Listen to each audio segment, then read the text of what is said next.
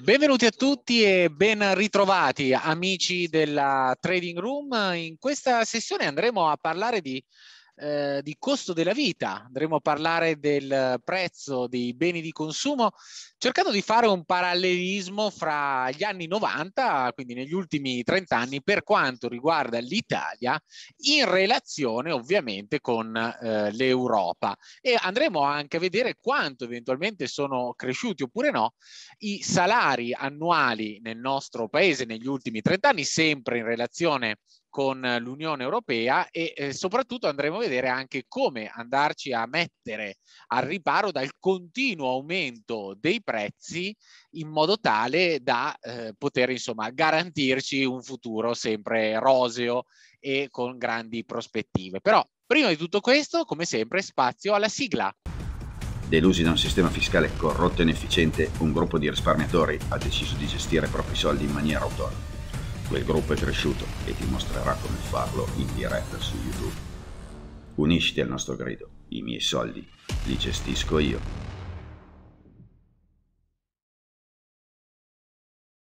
Come si può vedere da questa tabella, sono andato a riprendere la variazione percentuale dei salari annuali medi tra il 1990 e il 2020 nei paesi dell'Unione Europea e OXE e fondamentalmente ovviamente insomma, sono tutti guidati in termini di crescita di salari dai paesi che facevano parte, se vogliamo, del blocco sovietico, che comunque sia, partivano da una situazione sicuramente meno eh, prospera ecco, rispetto a quella eh, italiana, tant'è che vediamo che la Lituania in 30 anni in termini di salari ha quasi triplicato i propri salari, così come l'Estonia, la Lettonia li ha raddoppiati, la Slovacchia più 129%, la Repubblica Ceca più 112%, ovviamente sarebbe un po' ingiusto e anche impietoso per noi fare il paragone con questi paesi. I paesi che noi dobbiamo guardare sono sicuramente la Germania piuttosto che la Francia e come possiamo vedere la Germania in dieci anni i propri salari sono cresciuti del 33,7%,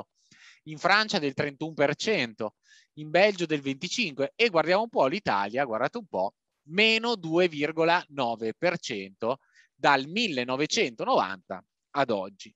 Quindi significa che fondamentalmente lo stipendio medio dal 1990 ad oggi non solo non è cresciuto, ma è anche sceso leggermente. Per darvi un'idea, nel 1990 mediamente un operaio guadagnava un milione e centomila lire. Qui mi rivolgo ecco, a chi ha qualche anno più di me, perché io nel 1990 avevo solo 3-4 anni, quindi non mi posso ricordare, però sicuramente voi vi ricorderete e eh, anche per far innervosire, se vogliamo, un po' di più la mia generazione, per avere un paragone rispetto ai costi, rispetto ai prezzi dell'epoca.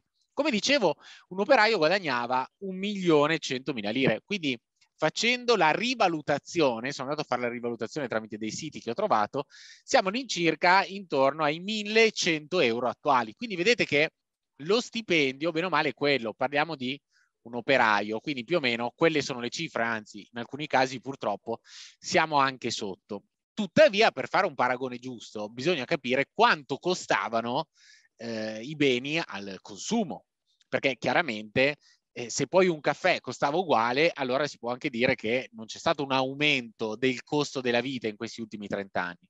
E sono andato a guardare un pochettino, un caffè nel 1990 costava 700 lire, che con la rivalutazione sono 70 centesimi di euro. Sappiamo bene che adesso un caffè viaggia ben sopra l'euro. Un giornale costava 1,20 euro, adesso siamo intorno all'euro e mezzo. Il biglietto della metro costava 900 lire, adesso anche lì siamo intorno eh, che sono pari a 0,9 euro e adesso siamo pari a un euro e un chilo di pane costava 1500 lire, ovvero un euro e mezzo, mentre adesso siamo intorno ai 3-4 euro. Quindi per farla breve, gli stipendi sono rimasti uguali e i prezzi dei beni al consumo sono cresciuti di almeno un 50-60%. Quindi forse è ingiusto dire che tutto è raddoppiato, diciamo che però un più 50, più 60% non ce lo leva nessuno. Quindi questo significa che eh, il nostro euro vale molto meno rispetto a 30 anni fa. È vero che alcune cose sono scese in termini di prezzi, basta pensare alle, ter- alle tariffe telefoniche piuttosto che agli apparecchi legati al mondo della tecnologia. Insomma, negli anni 90 un cellulare normale costava un milione e mezzo di lire, quindi pari ai 1500 euro di adesso. Adesso invece con 300-400 euro si prende già un buon telefono. E quindi è importante eh, capire a che punto stiamo. Quindi al di là però di questi pochi, eh, di pochi esempi che vanno a vantaggio nostro, comunque la maggior parte delle cose costano molto di più. Quindi si può dire che siamo uno dei paesi che sicuramente si è impoverito di più nell'arco degli ultimi, degli ultimi 30 anni.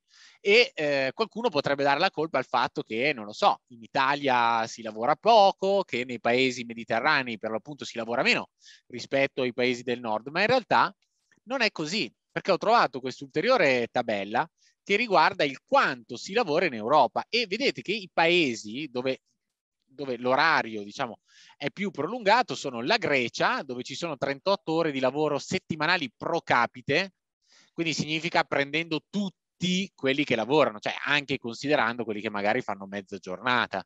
Quindi sappiamo bene che di media un lavoratore sta sulle 40 ore, però se si considera il tutto la Grecia è numero uno con 38 ore, l'Italia, come vedete, è nella top 5 con 33 ore di lavoro settimanali pro capite, mentre i paesi più ricchi, guardate voi, sono quelli che lavorano meno.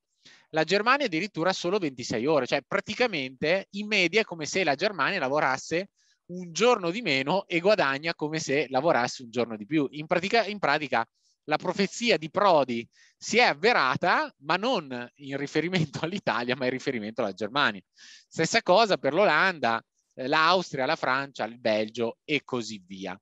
Perché allora in Italia si lavora tanto e si guadagna poco? È un problema legato alla produttività.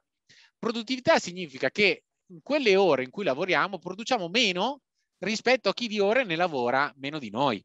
Quindi è un problema legato alla tecnologia e alla eh, burocrazia, quindi tutti quei, quegli elementi che sono una vera e propria zavorra su di noi e sul nostro paese. Quindi dopo avervi angosciato per bene con questo report dei nostri ultimi 30 anni, bisogna anche fare un po' un parallelo eh, su quello che sono i eh, mercati finanziari. Io in particolare, siccome non guardo mai ai mercati finanziari europei se non raramente per qualche singola azione magari, stavo guardando un po' l'andamento storico dello Standard Poor's e qui mi riprende il grafico dal 1993 fino ad oggi. Come vediamo, lo Standard Poor's ha fatto all'incirca un 900% negli ultimi 28 anni.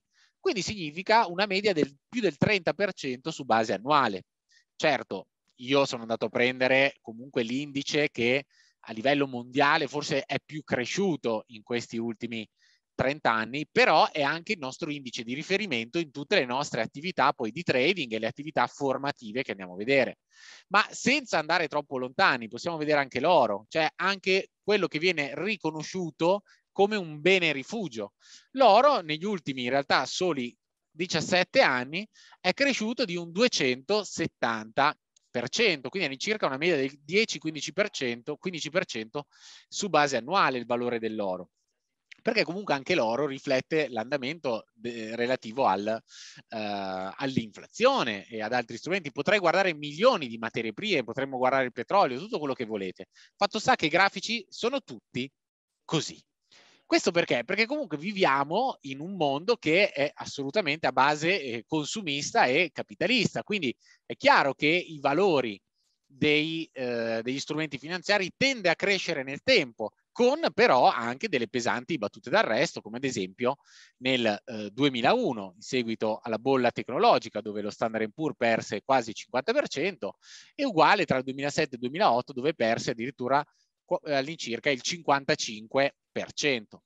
E quindi qual è la mia raccomandazione a chi magari ci segue per le prime volte ecco, in questi video? La mia raccomandazione è quella di iniziare a educarsi in maniera totalmente autonoma per iniziare a gestire il proprio patrimonio in maniera sicura. È ovvio che non si ha la pretesa di fare un 32% eh, annuale eh, come l'indice azionario, perché comunque un pochettino bisogna diversificare eh, con magari anche solo 5 o 6 strumenti, come abbiamo visto con l'oro o con l'obbligazionario, ma io vi posso assicurare che portare a casa un 7-8%, così come facciamo all'interno del nostro Investors Club, dedicando due ore al mese, anzi un'ora al mese al mercato, è assolutamente possibile. E ora è il momento di iniziare a dedicare questo tempo perché purtroppo i prezzi stanno crescendo ancora di più come sapete per via delle, della deriva insomma inflazionistica eh, dovuta per l'appunto alla pandemia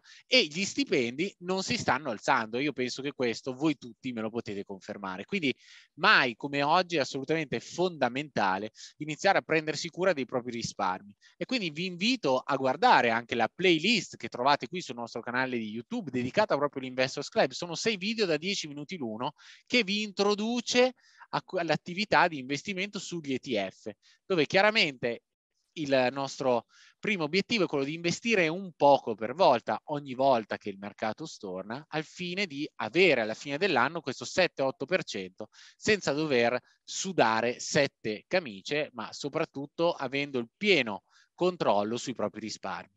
Io vi ringrazio come sempre per l'attenzione. Se il video è piaciuto mettete un mi piace, condividetelo, iscrivetevi al canale e vi aspetto alla prossima. Ciao a tutti.